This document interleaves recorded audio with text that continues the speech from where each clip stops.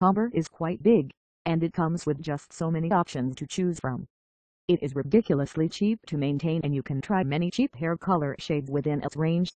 You could go with highlights as opposed to a solid color on your natural hair.